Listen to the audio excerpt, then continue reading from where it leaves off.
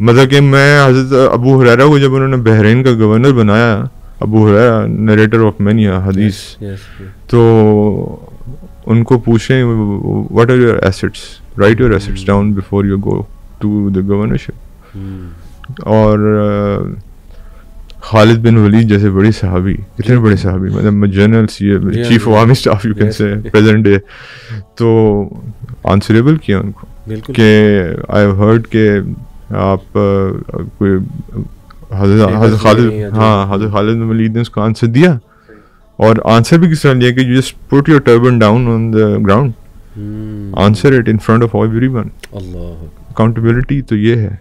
क्या बात क्या और और वो सबसे बड़ी बात कि अमर बिन आस के बेटे ने जो रेस में हम्म। एक क्रिश्चियन को हरा दिया।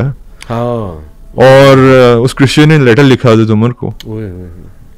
हज़रत उमर ने हज़रत अमर बिन आस को कहा आप भी आइए और अपने बेटे को भी लेके इजिप्ट से। इजिप्ट से। इजिप्ट से to ओए, Medina. ओए, ओए। अमर बिन आस आस्टिल सन के क्या किया तुमने? हाँ, मैंने कहा मैं तो कुछ नहीं किया। मैंने कहा कुछ तो किया है जो तुम्हें उमर, ने मुझे भी बुलाया और तुम्हें भी बुलाया। अल्लाह तो जब when they all went there तो उन्होंने अपनी वो असा दिया हाँ, और कहा कि जितना इन्होंने आपको मारा है। अल्लाह उमर बिन आस के बेटे ने रेस हारने पे उतना ही मारो बदला लो पूरा।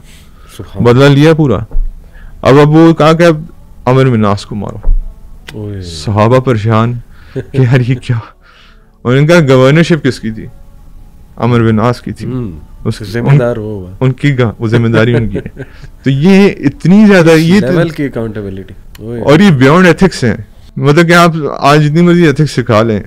These are something beyond ethics yes जो आप समझ नहीं सकते नॉर्मली बिल्कुल मच मोर देन एथिक्स जो करंट एथिक्स हैं। आप देखें प्राइस सेटिंग मैकेनिज्म्स मार्केट में सेट किए इनके ऑफिसर्स होते थे जो आजकल मैजिस्ट्रेट जिन्हें आप मॉडर्न लैंग्वेज में कह लें जो प्राइस चेक करते हैं इन्होंने बकायदा एक खातून को उनका नाम अगर आपको याद है मुझे भूल रहा मुझे भी इनसे हज़रत गया लेकिन थी।